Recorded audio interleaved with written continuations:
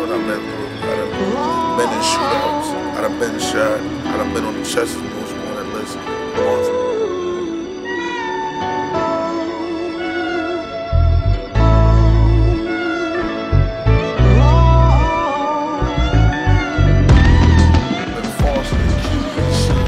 I mean, I caught so many kids out here, beat so many kids that the cops hate.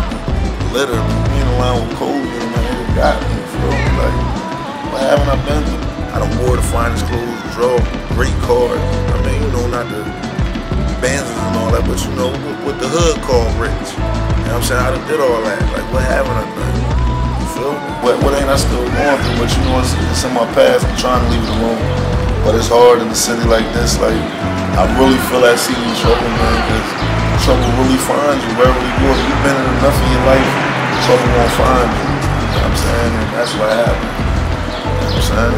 I don't look for it no more. I ain't into it no more. I'm into the family thing. But I gave it all up for my brother a cop out here. I mean, my kids older. They know what I'm doing, what I'm, I'm not doing. You know what I'm saying? Like, they asking questions. So, you know, it's, it comes a time in a man's life when you grow and give it up. You know what I'm saying?